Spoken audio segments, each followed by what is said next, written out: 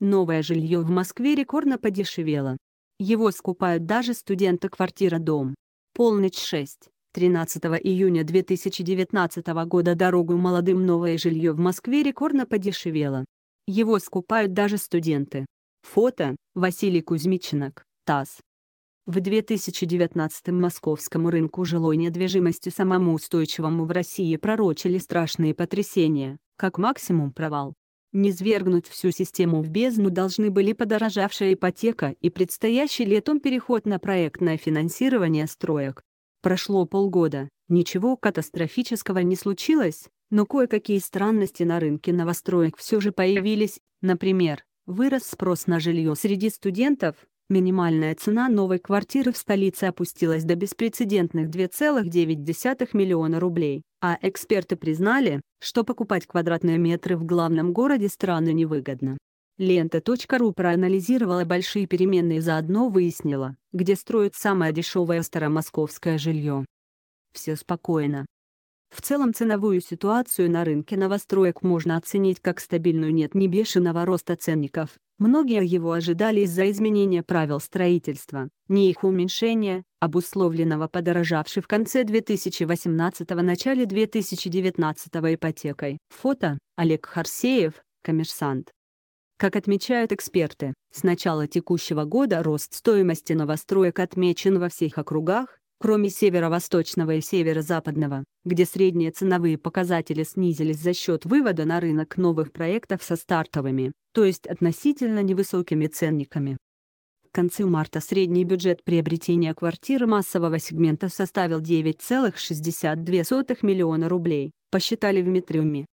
В МИЭЛь майский рост цен в московских новостройках, без учета проектов на присоединенных территориях и элитных, оценивают в 1%, а годовой в скромные 1,6%. Для бурлящего и вечно растущего столичного рынка недвижимости это немного. Самые доступные. Для покупателя. Впрочем, процентные показатели редко имеют значение. Главное, сколько стоит продукт в настоящее время. И в этом плане все хорошо, шрингфляция, сокращение объема продукта без реального сокращения стоимости, сделала свое дело, новую квартиру в пределах старых границ Москвы, то есть не в Новой Москве и не в Зеленограде, можно купить по цене до 3 миллионов рублей. Площади самых дешевых предложений жилья смешны, но вполне приемлемы для жаждущих навеки поселиться в столице.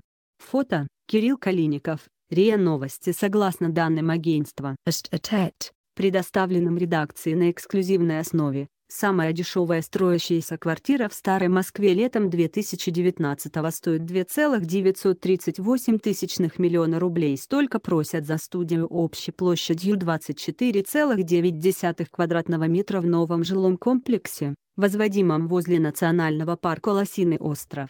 Комплекс состоит из четырех корпусов переменной этажности, от 11 до 26 этажей. Проектом предусмотрен подземный паркинг, детский сад, фитнес-центр с бассейном и общеобразовательная школа. Первые этажи домов займут торговые и офисные помещения. Также застройщик обещает огороженную территорию. Заселиться в квартиру быстро не получится проект на начальной стадии реализации. Второе место рейтинга новостроек с дешевыми квартирами занимает крупный комплекс на Люблинской улице. Проект будут сдавать в 2020-2027 годах. Здесь построят почти три десятка зданий. В 15 минутах пешком находится метро Братиславская, в 10 минутах езды метро Люблина и Марьино. Студни площадью 19,8 квадратного метра застройщик продает за 3,88 миллиона рублей. Фото – Василий Кузьмичинок, ТАСС. Даешь молодежь. Самые дешевые московские квартиры вряд ли подойдут семьям с несовершеннолетними детьми и даже парам без детей, но вполне могут удовлетворить молодых одиночек. Их в структуре покупателей становится все больше, констатируют эксперты. По данным федеральной компании «Талан», доля россиян в возрасте от 18 до 25 лет, интересующихся покупкой жилья, увеличилась на 10% за последние 12 месяцев. На сегодняшний день около 3,4 миллиона молодых людей проживают с родителями и планируют приобрести собственную квартиру, уже живут в собственном жилье или арендуют его, выяснили аналитики. Молодежная аудитория имеет огромный потенциал, предупреждают эксперты. Почти половина граждан в возрасте от 18 до 24 лет уже приняли решение взять квартиру в ипотеку или задумывались об этом. Стоит отметить, что в 18-25 лет молодежь рассматривает в качестве покупки только городскую недвижимость, а доля таких покупателей выросла до 2% от общего спроса. В то время как на покупателей в возрасте 26-39 лет уже приходится 43% городской недвижимости, 43% загородной и около 33% жилой недвижимости в курортных зонах. Как отмечают в Талане, нехватка мест в общежитиях ежегодно составляет примерно 20%. При этом затраты на аренду квартиры за 4-6 лет сопоставимы со стоимостью малогабаритного жилья. Именно поэтому молодежь предпочитает покупать студии и квартиры преимущественно в новостройках площадью от 16 до 27 квадратных метров. По оценкам Бест Новострой, в Москве на молодежь, от 20 до 29 лет, приходится около 15% сделок в новостройках. Хотя понятно, что в большинстве своем жилье они приобретают не за свой счет, чаще это родительские подарки либо покупка с привлечением ипотеки, утешают эксперты. Они же перечисляют главные квартирные предпочтения юных новоселов. Основными критериями комфортного жилья миллениалы считают эргономичность планировочных решений, комьюнити-пространство для общения и работы, технологичность, включая Wi-Fi на территории комплекса и использование солнечных батарей, а также благоустроенную территорию, наличие зеленых парковых зон и хорошо оборудованных площадок для занятий спортом. Вы что, опухли? Правда, сами молодые скептически оценивают свои жилищные перспективы и тех, кто купил квартиру самостоятельно, без помощи родных, похоже, единицы. Я не москвичка. Пошла работать, как только поступила в ВУЗ, рассказывает Евгения, 25-летний администратор магазина крупной одежной сети. Обычным продавцом в магазину метро. Вечная ругань из-за графика, а числит выгонит из общежития. Хозяин сносный, но все равно козел. Ад. Потом перешла в нормальный продуктовый, потом сюда. Доросла до какой-никакой, но руководящей должности. Деньги получаю нормальные, зарплата белая, машина есть. На ипотеку подавала в прошлом году, отказали. Буду подавать еще. В целом, если ты приезжий, если нет богатых родителей, придется самому пахать, причем долго. Или всю жизнь снимать.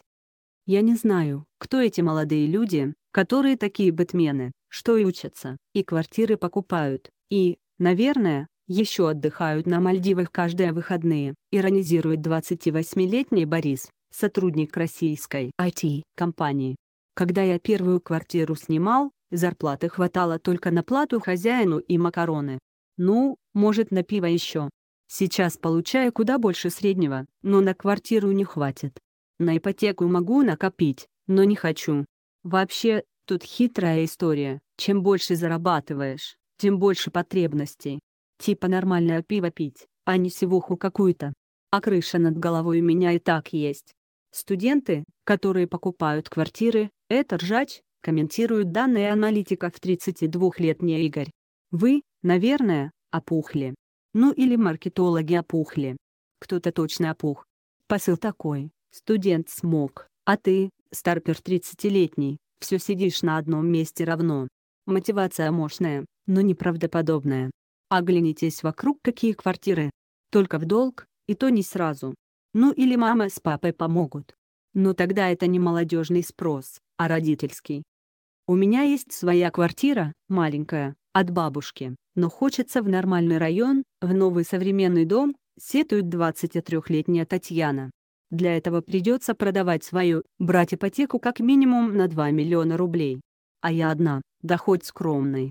Теоретически все возможно, а практически очень страшно, что придется во всем себе отказывать, поэтому я пока не дергаюсь. Не больно-то надо было. Если отбросить эмоции и похоронить чисто российское, или советское, стремление непременно владеть жильем, желательно в Москве, то оказывается, что покупать его не очень-то целесообразно. Окупится квартира не быстро, даже если беспрерывно сдавать ее в аренду или купить на котловане и потом перепродать менее расторопным покупателям. По подсчетам агентства «Азбука жилья», Показатель доходности московских квартир, приобретаемых на ранних стадиях строительства с целью спекулятивной перепродажи по завершении проекта, снизился с 11,8 до 7,2% годовых. Как отмечают аналитики, пять лет назад, в 2014 размещать средства в банках было менее выгодно, чем вкладываться в недвижимость. К весне 2019 ситуация изменилась. Средний размер ежегодной доходности 7,2% сравним с размещением денег в банке, где процентные ставки в среднем составляют 7,5%, указывают эксперты. Они подчеркивают, что за последние пять лет средняя стоимость квадратного метра квартир в объектах на котловане возросла примерно на 28%. Поэтому сейчас жилье на начальной стадии строительства, исходя из его общей стоимости, дороже на 41%. К маю 2019 года средний бюджет квартир комфорт-класса на котловане составляет 8,96 миллиона рублей, а аналогичный показатель 2014 года был на уровне 6,36 миллиона рублей, посчитали в азбуке. В другом агентстве НДВ, впрочем, считают, что покупка квартиры в новостройке – это все еще выгодное вложение. Обычно после ввода дома в эксплуатацию квартиры дорожают на 15-20% по сравнению с ценами на этапе котлована. Если говорить о ценах на этапе регистрации первых договоров долевого участия, то разница может достигать 20-25%, отмечают эксперты. О том, что покупка несуществующей квартиры сродни игре в русскую рулетку, участники рынка говорить не любят, кто старое, читай банкротство застройщиков и заморозку проектов, помянет тому глаз вон. Но у этой поговорки есть вторая, менее известная часть. А кто забудет тому оба вон? Какой из них лучше руководствоваться при выборе жилья, каждый решает сам. Обратная связь с отделом дом. Если вы стали свидетелем важного события, у вас есть новости или идея для материала, напишите на этот адрес, dom.lento at rambler.ru Мария Волкова